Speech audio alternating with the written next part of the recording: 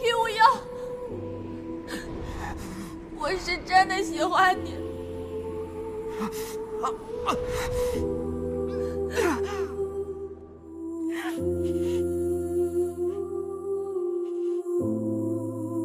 真好，我可以永远留在叶北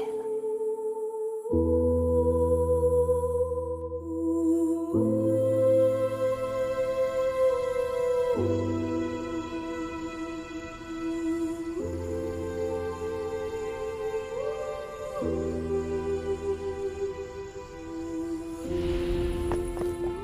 住！阿蕊，叶子死，我跟他一起死。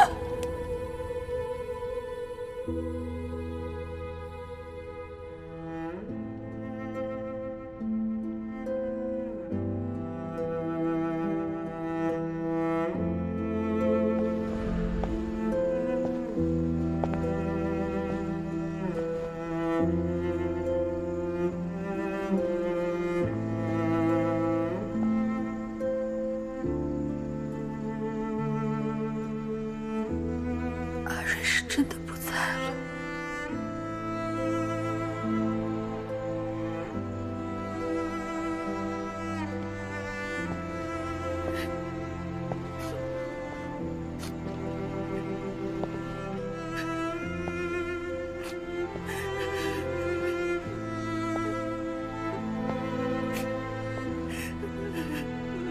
白露，你为何会躲在这里哭？怎么，哭也要跟你禀报吗？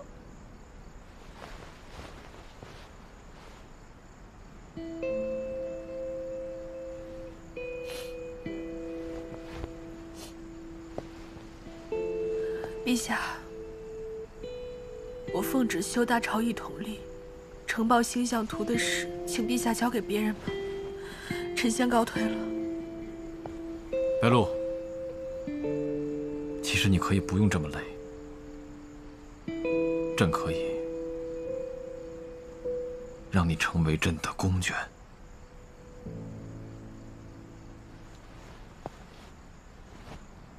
只要你愿意，朕可以封你为君后，让你入住齐华宫，得到朕的宠爱。对白露来说，陛下这不是赏赐。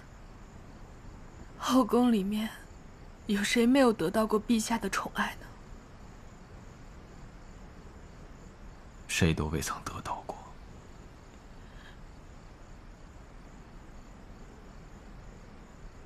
白露，你不被你生父所喜，在叶北被人坑害，几次都险死还生。叶北人把你当成灾星，而朕不同，朕可以护着你。给你无上的荣耀。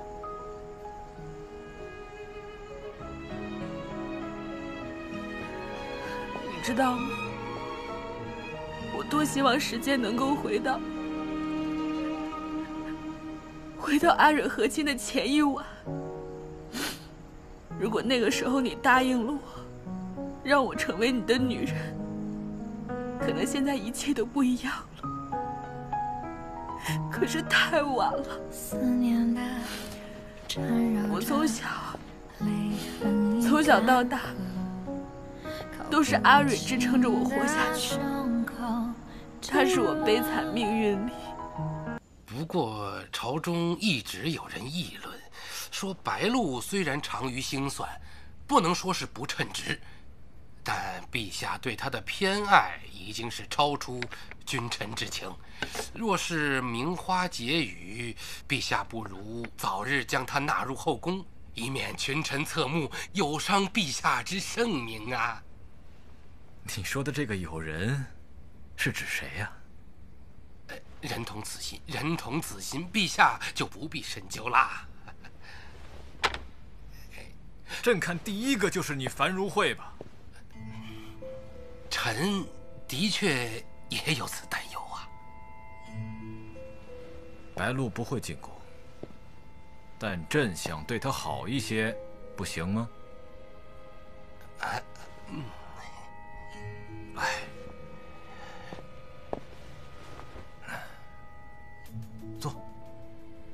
朕叫你做就做。啊。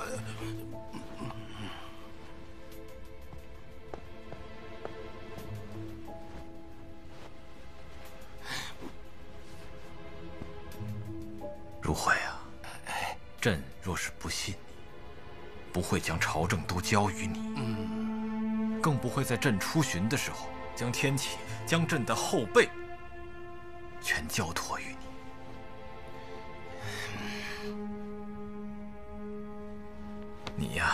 把心思都放在朝政上，不要整天想东想西，也不要认为朕对白露好一些就会动摇你的地位。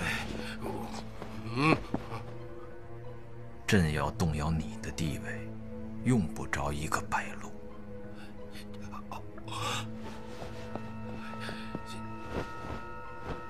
陛下圣明烛照，臣不敢欺君。臣的确是对白鹿有所忌惮，只因犬子繁征与白鹿有所冲突，臣终有舐犊之死。担心白鹿得宠会对犬子繁征有所报复。好了，你不用对朕剖白，朕不想听你说什么，要看你做什么。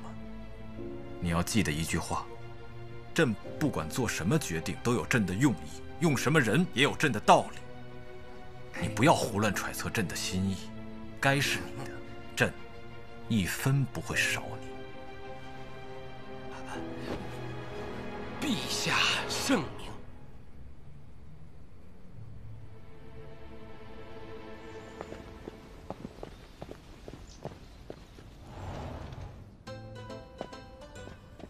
顾大哥，请。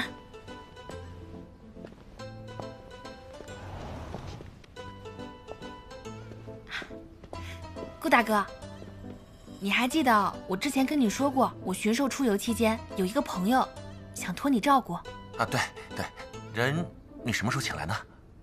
呃，你先坐。好。顾大哥，你先喝茶。等我一下。好。